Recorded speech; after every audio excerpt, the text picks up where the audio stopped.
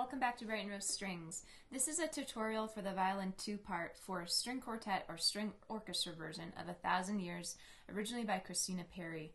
In this tutorial, I'll give you a few tips and then I'll go back at the end and I'll play through the whole version of the second violin part for you with the metronome on so that you can play along with that home if you'd like. A few little pieces of advice for you.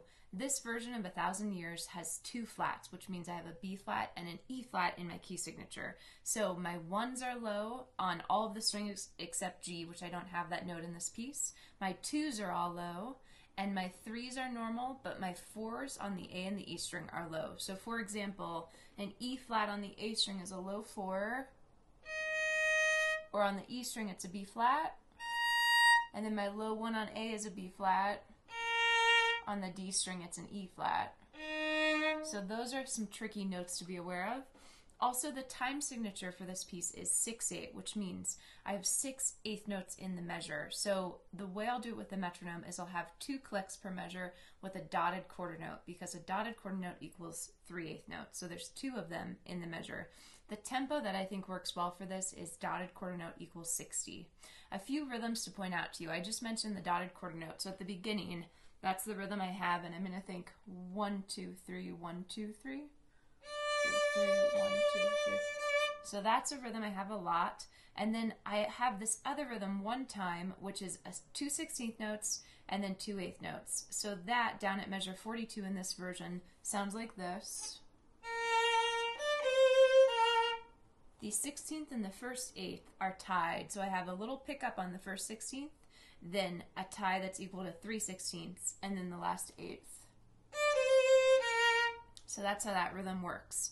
So I will play through this whole part for you now with the metronome at chord, dotted quarter note equals 60, and I hope this helps you. You can play along with at home at this speed or slow it down as you'd like. And please subscribe to my channel, share any comments, share this video with anyone who might enjoy it, and like my video. Thanks for watching.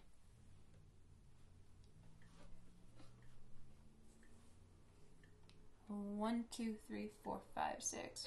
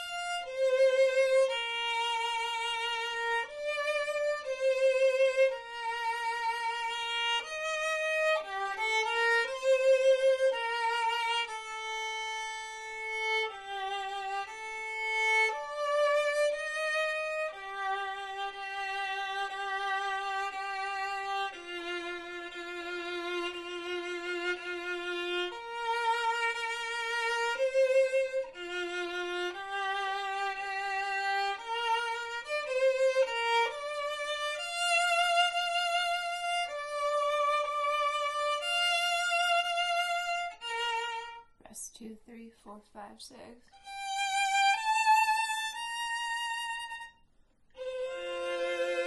One, two, three.